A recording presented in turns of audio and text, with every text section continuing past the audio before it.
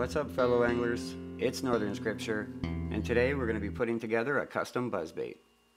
So as you can see I've gone out and I've gotten myself a rod here, got myself a single hook because I'm not a fan of tri hooks and this here is just some type of foam.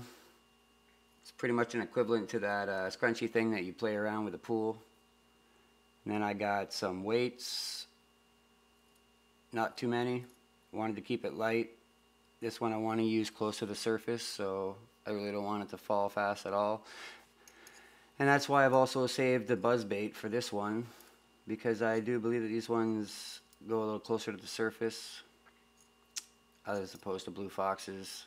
So we're going to see how this goes together. Now I'm going to skip over the parts where I sit here and put the feathers on by hand and we will come back when uh, we have the first row set up. Alright, step two is complete. Step one being attaching the beads, the spacer, the buzz bait, the hook. And I forgot to mention that uh, the main reason for attaching this is just a, it's a good base to attach all your feathers to. It's nice and flat, so you could also use something else, maybe weighted if you wanted maybe to be at a deeper depth, which I'm not searching for. But uh, so we've attached the white feathers, Just a whole bunch there. They'll be the bottom layer. I've already planned out and cut them to length, so I know exactly what it's going to look like before it's finished. And it just makes it a lot faster for putting it together. So you just measure everything out. Make sure you, no, you cut a little bit extra just to make sure that you have enough. So you don't have to, in the middle of attaching, go back and cut some more. And uh, I've also closed up the end here now because when I'm handling it, I don't attach all the feathers while I'm got it hooked up to here. I personally don't like this, it's bulky, but it's good for uh, gluing and whatnot. But holding it on and attaching it with the string, I like to hold it in my hand, so I've tied the end now already to its designated length.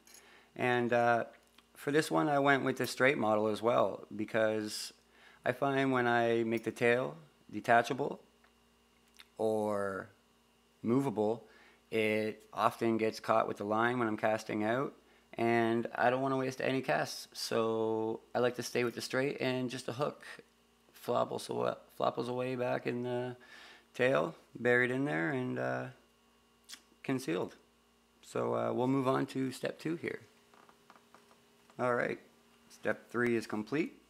The red feathers are attached. Kind of a blood look there I always like that. Put it on most of my uh, lures. Now when you attach the second layer of feathers, you're going to want to, before you start, wrap some string around the first layer and build up kind of a slope. So when you are applying the second layer, your feathers tend to stick up more as opposed to lay, lie flat which always just gives a better presentation when it's flowing through the water. So I'm going to go ahead and attach the third row. Alright, step three is complete. We've only added some more white on to bury down the red because that is not a highlight color for me on this lure. So we bury down the red a little bit, add the white, going to trim off the access sticking out the other end. And uh, then we will move on to applying what I call the detail layer, the main focus of color and pattern that I want to shine through on this lure. Alright, step four is complete. I've put on the detailed layer, which is a lot of uh, cream colored and light browns, dark browns. And uh, after you've done all that, you just trim up the ends here and then make your final wrap around the tip to make it a nice cone shape. And you will have your custom buzz bait all ready to go. Alright, the last step is now complete.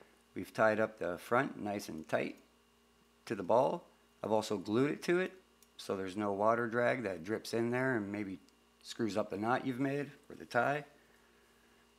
And you have a custom buzz bait here all ready to go. Didn't take too long. Looks pretty good, I'd have to say. It's really good for anything, depending on what weight you make it. This one here is for really, really close to the top of the water. There's almost no weights on it. Just a few here. Almost none in the back.